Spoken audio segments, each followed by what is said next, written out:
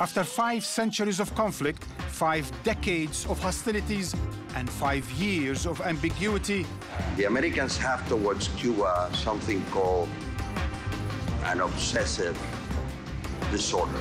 has change finally come to Cuba and U.S.-Cuban relations? And here we are in Havana looking for answers. Cuba is a tiny lizard, and we have very near an enormous dragon. We survived the continuous harassment by the U.S. government. Is Cuba the test of a new U.S. policy towards the Americas? We've traveled through Washington, Miami, and Havana to debate their opposing claims. Will they face the music or continue to dance around the issues? I am Marwan Bishara, and this is Empire.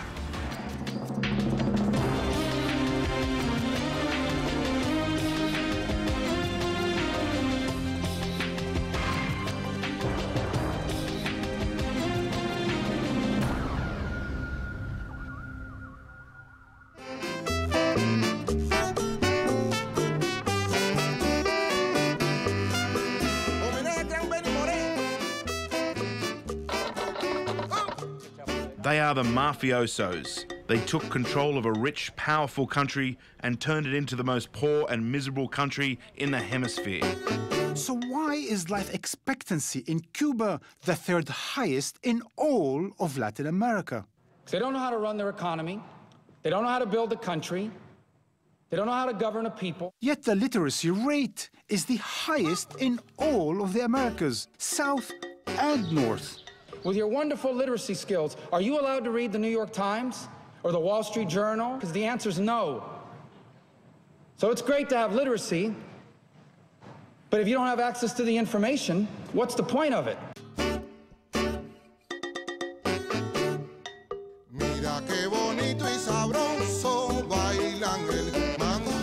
The American embargo. embargo, blockade, pressure, terrorism. how important it is to make sure we stare down the Castro regime and we do nothing that helps embolden the Castro regime. The Castro regime has never blinked, not once, but it has forced the Cuban people into some very peculiar ways of coping. All the bikes are before revolution. 50s, 40s. The child is not only from the father who made it, but the father who brought up with the child. These motorcycles are Cuban because they grew up here in Cuba. Cuban economy today is being kept afloat by Venezuelan subsidies of free oil. What does Cuba export in return? Today, we have around 50,000 health workers. 42% are doctors. There are great doctors that they have in Cuba, and I'm no doubt they're very talented. I've met a bunch of them. You know where I met them? In the United States, because they defected. And yet, in Mississippi, USA, life expectancy is lower. Literacy is much lower. Infant mortality is twice as high. The murder rate is higher, and the number of people per thousand in prison is higher. And yet, Cuba has real and severe problems. On the issue of economics, we have a disastrous economic situation. Well, if you walk the streets of Havana, people want change. People are desperate for change. We made many mistakes. We forgot about the market. You cannot have an economy that works if you don't take into account the market forces. In 2008, Fidel Castro, in ill health, turned over the government to his brother, Raul. Raul surprised the world by immediately admitting mistakes and announcing changes. The enormous efforts required to strengthen the economy. This is an essential premise if we are to forge ahead in any other area of our society. Cuba is now allowing Cuban Americans to invest in Cuba.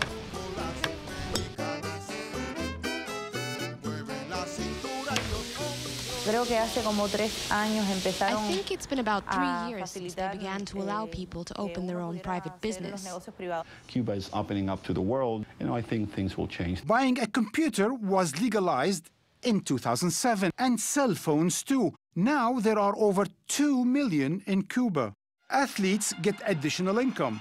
But does an extra $20 a month mean you've turned pro?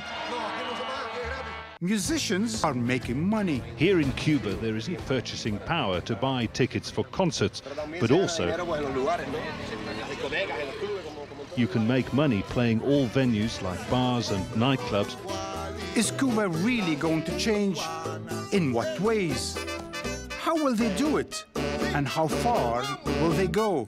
Will it be two steps forward and one step back? We are in Havana and are joined by Arnaldo Coro Antich, a popular radio show host in Cuba. Orailda Cabrera Guterres, former ambassador and a fellow with the Cuban Institute of Friendship with the Peoples. And Mark Frank, a foreign correspondent with Reuters and author of Cuban Revelations Behind the Scenes in Havana. I began by asking if recent changes in Cuba are irreversible. It's irreversible because it's very well planned, very well organized, very well thought. And it has received acceptance by the majority of the population. So what for you is, are the important changes? The most important changes is the change in mental attitude for inserting Cuba into the world in a way. You mean Cuba opening to the world? To the world in a way that it would be perfectly accepted not only by Cuba and the Cubans living here, but by the Cubans abroad and by people around the world. Okay, but before we get to the world, how far is Cuba opening to Cubans? Well, there are many things that, uh, say, a year ago were unimaginable that today are everyday practice. And that has uh, developed for example, entrepreneurship among many people. That was something that was hidden, and it is coming up. You think it's really irreversible, the change in, in Cuba? Yeah, I, I, think it's completely irreversible. First of all, because the changes are based on a criticism of what was before. Cuba's gone from basically denying its own problems and so and only really blaming the outside world to very consistently now since 2006, the leadership has insisted on looking and for the people to look at their own problems and do whatever is necessary to overcome them up to the point of establishing, you know, tomorrow a, a capitalist country. So, so, but there are reports uh, from outside so, Cuba. So, you know, so but instead of are, outside, but, but there are reports from outside Cuba that speak of a thousand dissidents being imprisoned this very last year. Well, the first thing that I would like to say is that uh, dissidents are financed from abroad. All? Practically all of them. And, and I think that, that that's uh, something that is very, very bad for them, actually. But is that demonizing them or is that fact? I'm not demonizing them. I'm just saying that they, in one way or another, they receive financing from abroad and support from abroad. And that discredits them? Of course. Hmm. That's essential. If, if they, they, their uh, dissent will come from honesty and saying something that uh, they don't like and use the way of expressions which are open in many, many ways here, then it would be different. We don't want the model of a society to be imported from somewhere. Mm. We have a very peculiar, particular way of doing things here. You, you actually work with grassroots here mm -hmm. in some way, in some form or another. Do you think they benefit as much from the change that is going on and hence they are on board with it? I think they are the, the people, the grassroots, are the ones who really receive more benefit for that. And I would like to just to say briefly, this is irreversible because this start, those changes starting with the discussion with everybody, since the bottom to the top. And it was, everybody was expressing what do they feel because with the Cubans, really have voice. But everything and we are critic. But we criticize, but in a good manner, just looking for the best. Hmm. Not looking for create situations inside of the country, but manipulate. But we, we're, we're basically talking about economic change, about change in the economic system within the country, right? Mm. But how, is that really possible to develop if there is no political opening in the country? It is because the government is opening also, it's changing, it's moving hmm. together with this international situation that is moving, is improving. We are an island, so we are totally openly. It's very hard to say how things will develop. They're just beginning a process of change. The change is very important because it's changing the relationship of the government to the people from a paternalistic type of system. So we have to see the Cubans are very intelligent people. And as they evolve over the next 10 or 15 years, they're going to have to look at what kind of system they still want. But But, right now, it's a one-party system as they go through these But what I'm curious about, and for you, Frank, and and, uh, and Coro, and, and of course, uh, for all of us, if Cuba has done so well, so well on education, on health, on life expectancy, Yeah. but it has not done well on economic growth. Well, I think you have to also look at the difference between 30 years ago and now. They went through a very serious crisis. By the time they had gone through the serious crisis, they had already built up with Soviet help a tremendous education system and a tremendous healthcare system. And so they had something to skate on in a way, um, which has helped them get through this period. I think it's tremendously important to understand when the Soviet Union and the socialist countries just collapsed, evaporated, disappeared. We were doing trade on very beneficial terms with those nations, and this suddenly collapsed in a matter of weeks. Now, the problem is, and this is, this is what I, I think it's essential, the problem is the fact, the real fact, that we survived despite this problem and the continuous harassment by the US government. So you think the economic lack of growth in Cuba is also caused by U.S. The US has a definite, a definite influence in harassing every company that wants to do business with Cuba. And this has aspects that are very inhumane. For example, if Cuba needs to buy a certain pharmaceutical that is essential for doing surgery on children, then the company is banned by the US government to sell that product to Cuba. Pressure is on every day. It's, it's a tremendous pressure. if if it continues to open up towards international companies and those ones with the state and so on, and it continues to open up to society, what is the danger that Cuba will start losing the best of its achievements, its good health, its good education, its life expectancy, and so on? That's why we will not change our system. Because So one of the best things, the system, the socialist system, because it must be clear for everybody. My perception is that uh, changes will be coming gradually and intelligently. And this is what has been happening. But what I'm curious about, will this be, will this be sustained when, uh, I don't know, uh, Barclays Bank and Citibank returns to Cuba? You have to do it scientifically because the society needs scientific direction. It cannot be directed by just doing like this and say the wind is blowing from the south. You need an anemometer and a wind vane.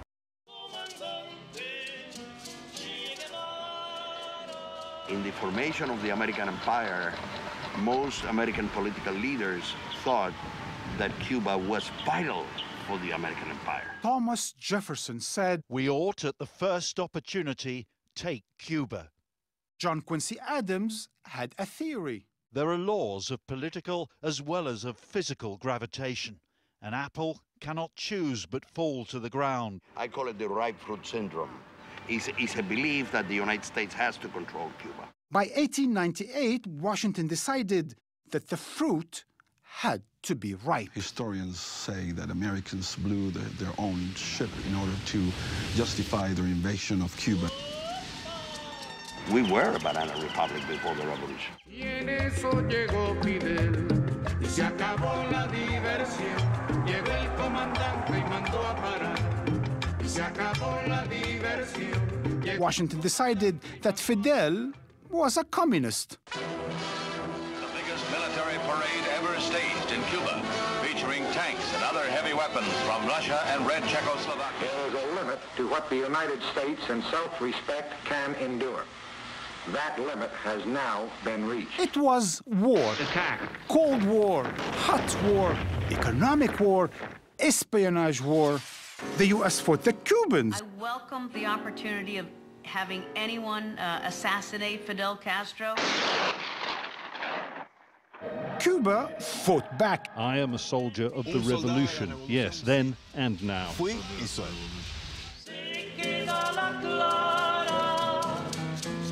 La entrañable transparencia de tu querida presencia, comandante Che Guevara. Cuba had a new export revolution. They say we exported the revolution. Here, there weren't revolution factories to give to other countries. We didn't even buy arms. Our brothers asked for help, and we came to their aid. This is revolutionary Cuba, the country that has done so much for the peoples of Africa. Now the Cold War is history, ancient history, yet the conflict remains. There is a new divide. It's between the North and the South. Cuba, it acts like America. It drives like America. It sounds like America. Entonces, Cobola. So what's the problem? I asked Cuban TV host Rinaldo Taladrid Herrero and Mark Frank if Cuba's troubles are a result of America's boycott. Some people use it in Cuba to hide their failures, but embargo or blockade, as you prefer, is a, re- is a real thing. It damaged the Cuban economy. You agree?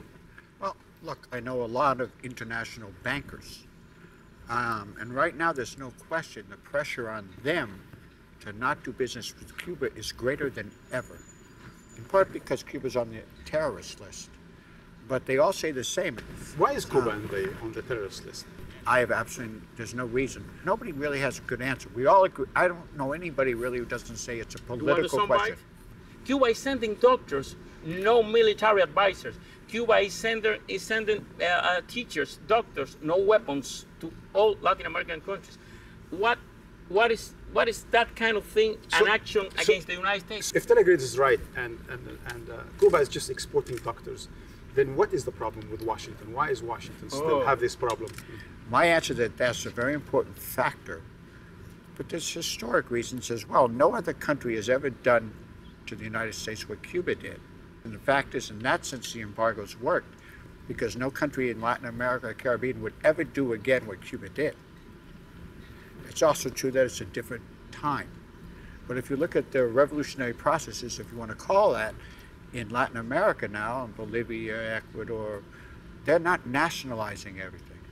If the American embargo failed, then why is are we blaming America's boycott on Cuba's troubles? It's not correct to blame the American embargo for all the problems. But what is the problem with what Cuba has? A lot of problems in economy, in buildings, in society. What is the problem with And that? These are Cuban problems mm-hmm. for the Cubans, not for the United States government. A- A Latin American millionaire once asked me, What is the original sin? Because I don't understand. What is the original sin that provoked all this situation in, in, the, in the 21st century? For example, one, one government has the right to reject or to accept any kind of politics of any kind of government. It's the right, no? In any part of the world. Why is the sin if Cuba accept or not accept any kind of politics? So, so, so you actually think that the boycott remains what it is and relations are not normalized because of Washington, not because of Havana? Absolutely. Cuba is ready to talk, but talk not to unconditional surrender. But countries. Taladrid already, Obama said mutual respect and mutual interest. Raul Castro said civilized dialogue. What is mutual respect for America, for example? Uh, you have to organize elections with different multi, multiple parties, no? Okay, and what about Saudi Arabia? There are no political parties, no elections, and it's an ally, not just a friend. Look, Cuba is a tiny lizard, and we have very near an enormous dragon. If you're a little lizard and you have a big dragon trying to destroy you, you can live in an ideal world as nothing, if nothing is happening. And, and then the, even the Cuban political system was built and designed to protect Cuba against, against the big dragon. The day the big dragon desist, okay, I don't want to destroy you anymore. I don't want to interfere in your house. hmm? Okay, I am sure many things will change. Do you think President Obama sees Uh, the relationship with Cuba as the one between the dragon and the lizard? Yes, I, I, because that's just objective. It's not really a question of ideology. The fact is, Cuba is very small. I mean, some people call it an elephant in a mouse. Some people call it, but it's certainly there. So So he's running that country, and I think he what he does understand, just like Kerry, and just like actually the head of the Pentagon, they've all said it in the past before they had position. They feel the embargo has failed, and they need another strategy. So you think it's pragmatism? It's, of course, it's pragmatism. So the, the, the goal is still the same, but the means have changed? That's right, that's right. The, the sa- a new strategy is for what? For overthrow a foreign government by different means. I always say the most important change right now in Cuba is the, the dialogue going on between Cubans on the island and off. And there's a tremendous national discussion going on here under the table that you don't see about what kind of country all those Cubans want Cuba to be. But the new guys, when they arrive to Miami or Florida, they don't want to be involved in politics. Less than 20% of them would register to vote. You don't think Washington, when it's allowed for that kind of influx of Cuban Americans into Cuba, there was a goal behind the mean, meaning they want to change Cuba from, from the bottom up? Obama expressed it. When Obama presented his new policy toward Cuba was in, two, eh, in the campaign of 2008. He said, I'm going to authorize unrestricted travel and remittances to all Cuban Americans to Cuba. But the second part of the phrase was not in the big media. He said, and not only because humanitarian reasons, because they are a very powerful tool of our goals to a new Cuba. 60% of the American people now want to lift the embargo. Is it Washington or is it Havana that is pushing the brakes on normalization? No, no, no, no. Havana will not. It's totally false that Havana wants that the embargo will keep in place. It's not true. So there's change in the United States. There's change in Cuba. Why isn't there change in Cuban American relations? Did you think that for, for, for an internal decision of U.S. policy, mm. it's important what the rest of the world thinks? Did you really think they are, they are really concerned that the Latin American countries will not go to a summit without Cuba? Yes. Did you really think it's so important for them? You don't think I- America is I- becoming I- more isolated because of Cuba in, in, in South America? Absolutely. No, in, in all Latin America, absolutely. But my question is, how many times the U.S. government didn't care what the world thinks about anything?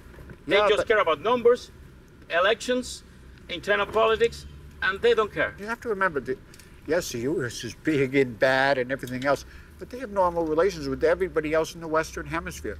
It seems to me that then there is a good number of influential people, both in Havana and Washington, that are still stuck in the Cold War, at least the Cold War mindset. It's not Cold War mentality. It's a total lack of trust on both sides. That's what there is. Um, and, and that continues to exist, both on the U.S. side and the Cuban side. And not just at the top, at all levels. You know, which- and that's the problem. Back to your dragon and lizard. It's much easier for the dragon to trust the lizard than the lizard to trust That's, the dragon. that's what I'm saying. Everybody. What kind of damage the lizard could inflict the dragon? There is a government in Cuba, a legal government. They can't recognize that there is a legal government, a legal system in Cuba, and they didn't accept that. They only accept unconditional surrender. This is not a negotiation. Miami and Washington are next, where we ask about America's obsession with Cuba. It's necessary to U.S. foreign policy in its larger picture to demonize Cuba. I think that uh, Cuba policy, you can characterize it as benign neglect.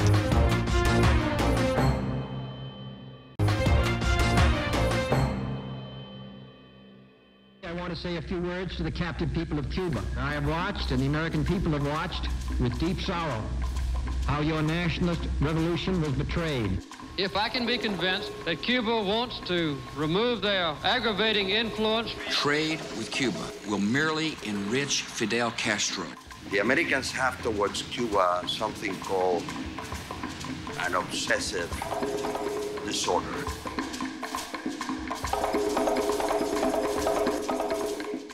Why? Our real goal there is to ultimately have Cuba become a democracy. As a Cold War policy, it was at least coherent. A common sense policy to bring about democracy in Cuba, a country 90 miles away, 45 minutes away from Florida coast. The military threat is over. Their ideological war has been won. Unjust, incoherent U.S. politics towards Cuba, it's, uh, it's a thing of the past. And yet, The public uh, voices uh, in Congress uh, that represent the Cuban American community still believe in the embargo that hasn't achieved the, the objective of uh, overthrowing the Castro regime for the past 50 years or so. U.S. policy continues to be regime change. I look forward to the day when we can lift the embargo, but that needs to happen after we've restored freedom to Cuba, after the tyranny ends. In 2009, America's new president reached out. I didn't come here to debate the past. I came here to deal with the future. Cuba's new leader responded. We've told the North American government, in private and in public, that we're prepared, wherever they want, to discuss everything. Then they shook hands at Nelson Mandela's funeral. When the leader of the free world shakes the bloody hand of a ruthless dictator like Raul Castro, uh, Raul Castro uses that hand to sign the orders to repress and jail democracy advocates. But you want us to change. Why doesn't the Cuban government change? But Cuba has been changing. In Cuba, you could be Catholic, Protestant, practice Afro-Cuban culture, communist and homosexual at the same time without problems. But Cuba remains on the terrorist watch list. The Cuban people still live in constant fear of a brutal totalitarian regime that has demonstrated time and again its utter disregard for basic human dignity. What do the American hardliners, the conservatives, the Miami Cubans want? Will they accept anything less than a return to the good old days? When everything was for sale? Even the president, especially the president? Polls agree. Everyone wants change. But American policy seems stuck in the past. Attesting to Cuba's conquest by communist imperialism. Doing the same things that have failed for 50 years. The Cuban drama goes on. Is Washington in the grip of a leftover ideology? The U.S. government has, has provided over $200 million to Cuban American organizations in South Florida. It became an industry. How can a group of angry expatriates in a rage left over from 1958 hold the foreign policy of the entire United States hostage? Miami has become, uh, for many years, the center of the organized opposition by Cuban exiles to the Castro government. A significant minority that comes out to vote over a single issue, like the anti-Castro Cuban Americans, they can provide the margin of victory. And winning Florida usually means winning the presidency. Obama can do it. Obama can do it if he wants. Still has time. Can this president make the changes all by himself? By executive order? The current situation cannot change unless Congress lifts the embargo. Is American foreign policy towards Cuba the place where reason goes to die? We are in Washington and are joined by Avi Chomsky, a historian of Latin America at Salem State University in Massachusetts. Philip Brenner, a specialist on U.S. foreign policy towards Latin America at the American University and author of A Contemporary Cuba Reader, The Revolution under Raul Castro. Mike Gonzalez from the Heritage Foundation and former U.S. State Department official. And last but not least, Mark Weisbrot, an expert on Latin America at the Center for Economic and Policy Research. I began by asking what the view is from Washington. I don't think there's much thinking in Washington about Cuba. In fact, a few years ago, the, uh, the number two person in the, uh, the Latin American Bureau visited Cuba for the first time, and she her first remark when someone said, What did you learn? She said, People laugh here, they smile. I was so surprised by that. I think they largely don't think much about Cuba, know much about Cuba. They're not looking at the changes, Avi, of what's going on in there? Keeping track of them? They're keeping track of them, but but I would agree with Phil that I don't think it's a high priority issue. I don't think the administration feels that it has much to gain with engaging in the issue. I don't think that the Obama administration wants to ruffle any feathers about Cuba. I don't think it has anything to gain by doing so. Uh, I think that uh, Cuba policy, you can characterize it as benign neglect. Uh, if a, an American president had been serious about Cuba, or had Cuba had risen to a priority, uh, Cuba would have been free many decades ago. Uh, Cuba is, uh, there are people here who do know about the situation in Cuba, about uh, the, the changes that, that have taken place, uh, the, the, the, increase in arrests, in, in reported uh, documented arrests, uh, the, the, increase in, um, in, in, in repression. But you know what there is in Cuba? There is an intersection, interest section for the U.S. Uh, a diplomatic mission. Diplomatic right? mission with, with at least 70 or something diplomats. So they must be doing, following something. No, they know what's going on in Cuba.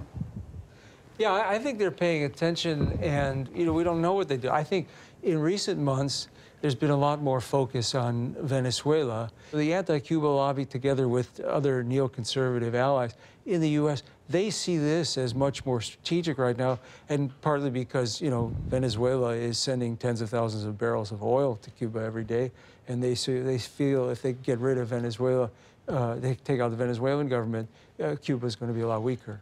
Um, I would also just say on the issue of political repression in Cuba, to the extent that there is political repression in Cuba, I don't really think it's very much in the U.S. interest to focus on it. The United States knows full well that the kinds of so-called political repression that happen in Cuba are child's play compared to the kinds of political repression that happen in places like China, for example, where the United States maintains full diplomatic relations and has, you know, good trading relations.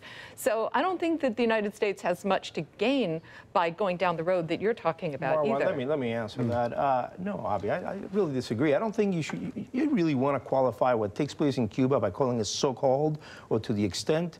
I mean, are you really denying that in Cuba there's huge political repression today? Do you really have, what happens to the ladies in white?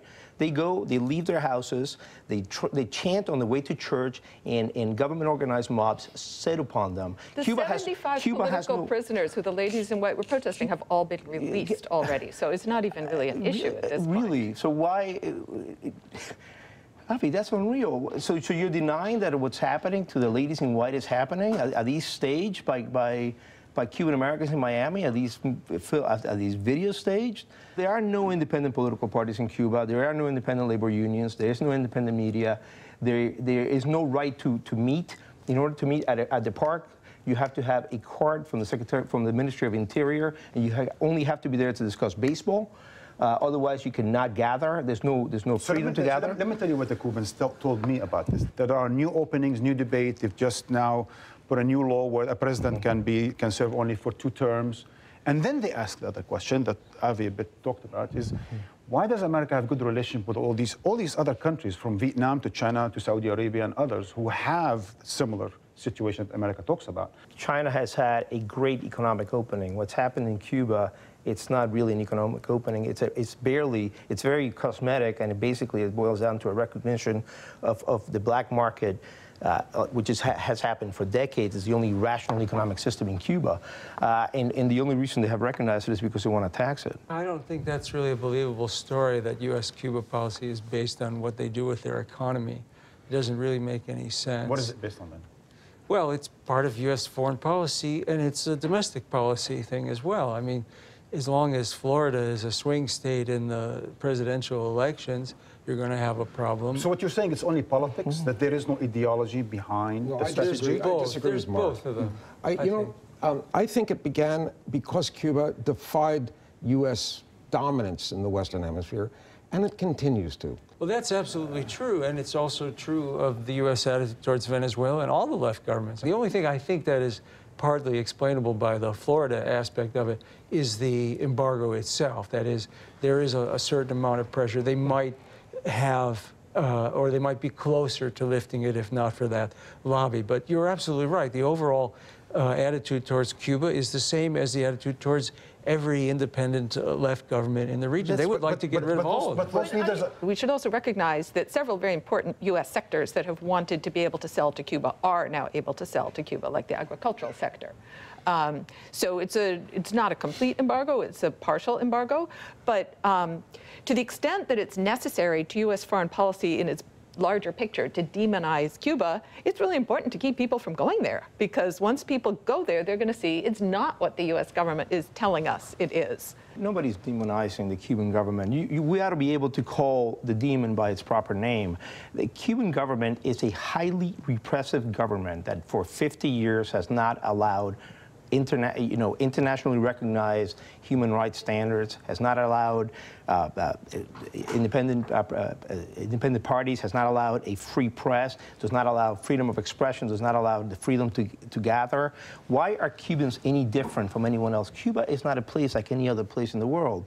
I'm sorry to, to say the this rest to you. of the world, it is. No, Only to the United States, it isn't. uh, there, But there is no deny that there is an opening, that there is an economic opening. No, in the there country. is denying. I am denying it. That there is no there is no economic opening. I think I'm understanding Mike's argument now is he's saying that because China and maybe Saudi Arabia too, because they have these economic freedoms, that they're going to become uh, less repressive and therefore the U.S. has good relations. I don't think anybody in the world believes that. I mean, the, the, there's an obvious history and context of our relations with Cuba, which we've all described here, and it's part of U.S. foreign policy towards Latin America.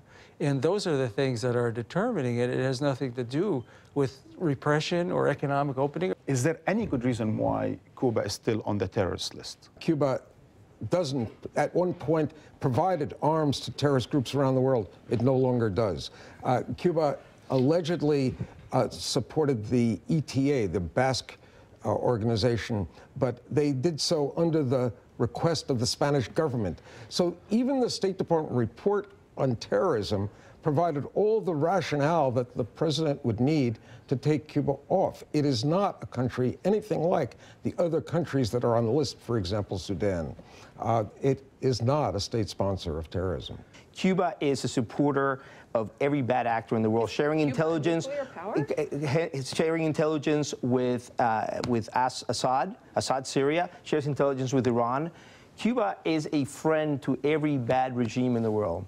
That's arms different shipments, not, being not, not nuclear shipments, arms shipments. That's a, first of all, that's different than being a state supporter of terrorism, supporting governments that, other governments that might, we also have supported Cuba supports states. the FARC. Uh, Cuba has given, it provides no arms or assistance to the FARC. What it does is allows members of the FARC to come to Cuba uh, after, for what's called rest and recreation, sometimes medical uh, aid. It's But also- it's also got- as a mediating, no? The government of Colombia is negotiating with the FARC in As a Havana. consequence, So they're able to act as a Against the wishes of the majority of the Colombians. Um, The, the Colombian elected the government is very Cuba- appreciative. uh, on this issue, they're not support, supporting of these talks. Uh, But, but what does it say that the president shakes hands with the guy he's accusing of terrorism or supporting terrorism? The handshake, I think, was more of a signal to countries in Africa uh, and in Asia. It was in President Obama's interest.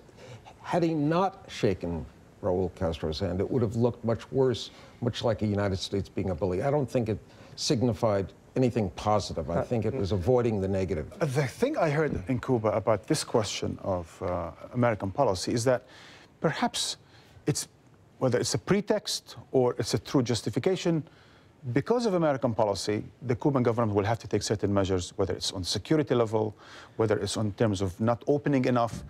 And if it only the America or Washington would open up, maybe then change will be a much faster pace in Cuba. Do you agree with that? The more the United States tries to infiltrate and control people in Cuba who are talking about change, the less they are going to be accepted and trusted, and the less political openness there is going to be in Cuba. Let's round it up. uh, And I know historians don't like to talk about the future, so let's talk about the history of the future. if you look at it a few years down the road, what would we see happening now? Is something is going to give on the question of U.S. and Cuba? Is this going to be the test of American or the Americas relations? Well, let's start with some facts that we know are likely to happen. Uh, President Raul Castro will step down from office in 2018.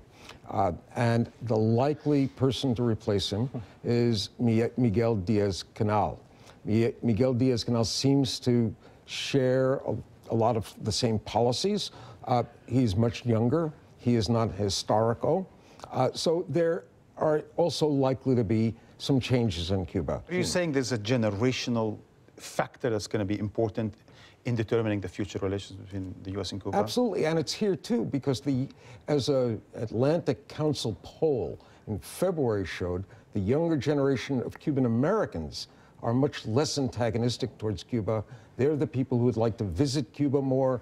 They are more willing to send money to Cuba and they want the United States to change. There's a majority of Hispanic Americans, Americans, and apparently Cuban Americans that want normalization. So much to say, so little time. Uh, the Atlantic uh, Council poll, if you look into and read it again, once you tell people the conditions on the ground and we, we're actually demanding, then the, the support for continuation of, of, of, of demanding changes in Cuba is wide. Uh, let, me, let me give you the parade of horribles of what we're asking the Cuban government to do, and this is codified into law, and that is release of political prisoners, allow internationally recognized standards of human rights, allow political parties, independent political parties, allow a free press, allowed, uh, these, this is the bare minimum of decent society that we're asking the Cuban government to enact the, the, world should be, but the United States says this is the law. So you think more of that changes of the law are, are, are happening, whether you like them or not? You think that change is coming?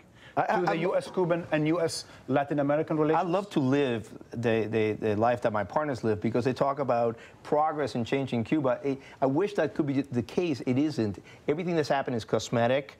Uh, there's no there's no recognition of private property. There's no recognition of, of, of, independent contracts. There's no recognition of the right of people to speak their mind. I wish that these changes were indeed taking place. They're just not. We we we we going to speak right after this with the young Cuban director of this latest film, Conducta. We're talking about changes, problems, and solutions uh, uh, for Cuba by Cubans. But for now, Avi, gentlemen, thank you for joining Empire.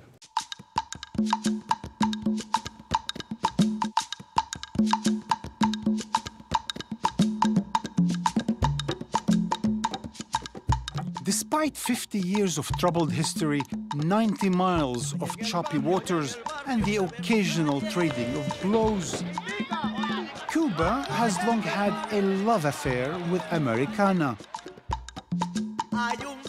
Fidel himself knew a thing or two about pitching for glory, and as a U.S. amateur boxing team competed in Cuba for the first time in 27 years, I met with filmmaker Ernesto Daranas, whose new film, Conducta, recently won the Best Film Prize at New York's Havana Film Festival. Todavía no nos ha dicho si es verdad que se jubila.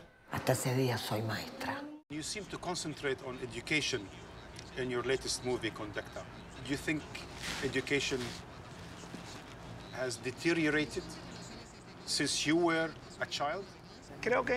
I think in general, education is in crisis all over the world because these children, these people that live in small towns, in many cases the only refuge they have is a teacher.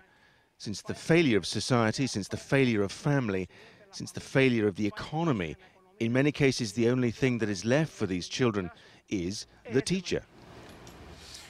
If, if, if Cuba opens up, you think uh, those places that are important for the country and for society, like education and health, you think they will suffer or they will benefit? It's a really abstract term, thinking of what it will mean for Cuba to open up. Cuba to open up to what? To what things? It's not about change just for the sake of changing. It's about a change in social attitude, a more humanistic approach. Do you think um, Cuba is ready for a major change? The changes that are taking place right now are basically aimed at the economy. These changes are intended to make sure that we don't lose the things that are most essential to us. But the reality is those changes have not reached the poorest parts of the population. Those people are ready for change.